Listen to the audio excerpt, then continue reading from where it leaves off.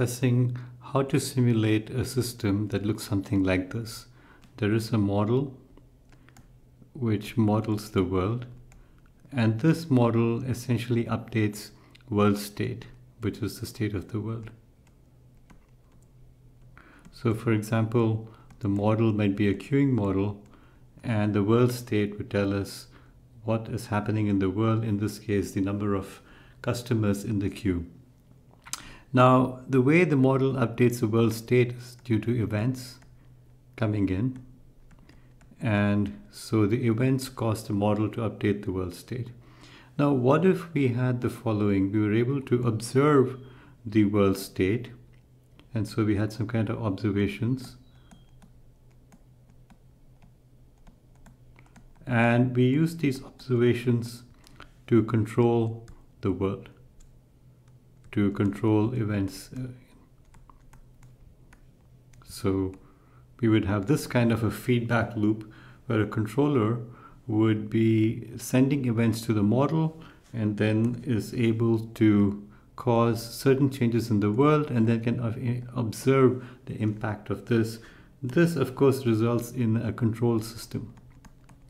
And as you will, as you should remember from how the uh, how a system control, a control system works, what we're showing over here is a simple feedback control system. And so what I want to talk about briefly is how one would simulate such a feedback control system.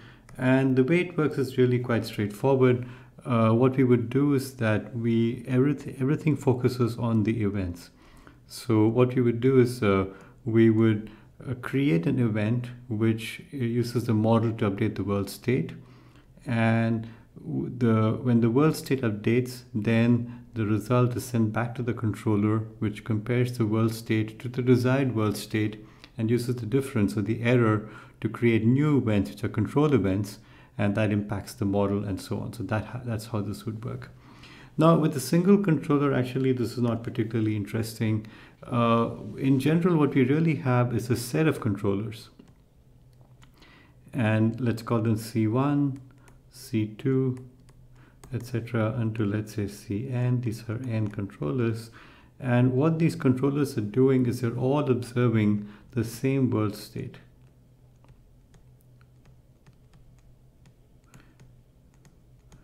And the interesting part is that each of them receives the feedback from the world state after a different delay. So the first controller may get it right after delay D1, the second controller gets it after delay D2, and in general, the nth controller will get it after a delay of Dn. Okay, so uh, the each controller is trying to update the same thing, which is the model of the world. And this model is going to update the world state. And each controller is essentially going to send events to this model, like so.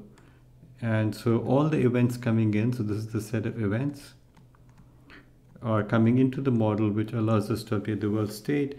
And the interesting thing is that the world state is going to be uh, observed at different parts in time.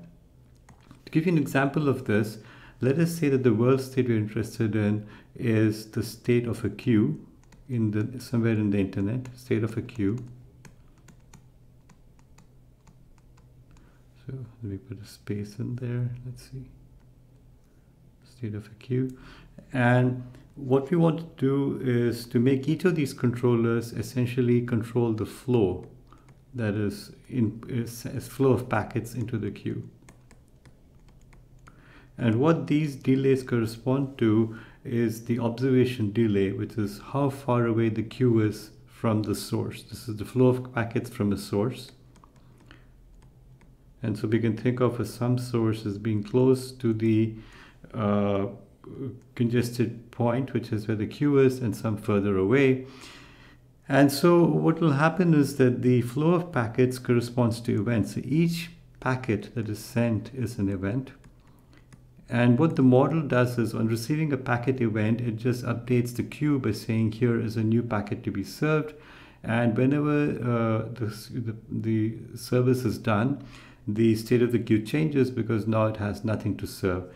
And so the model essentially takes a set of packets coming in. So these are all the packets over here coming in.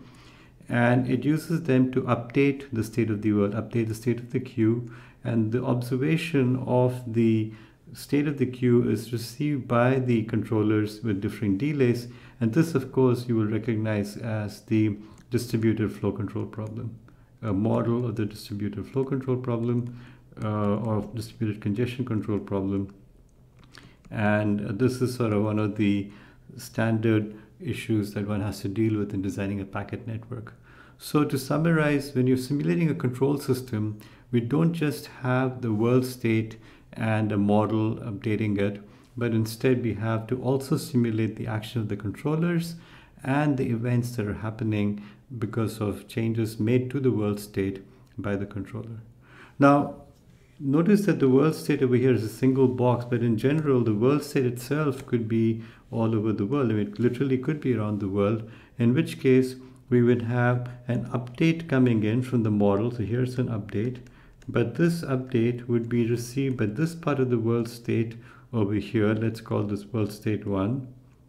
Could be received right away, but the update to a different part of the world could be received after a, a different delay. And if you had some other part over here, WS3, then that update is going to be received after yet another delay over here. And so these updates from wherever the action is taken to the different parts of the world may itself take different point time, may different, itself take different amounts of delays before getting updated. So for example, you if you have a database which is distributed and an update comes to one member of the database, then the distribution of that update to the other components of the database would be after some delays.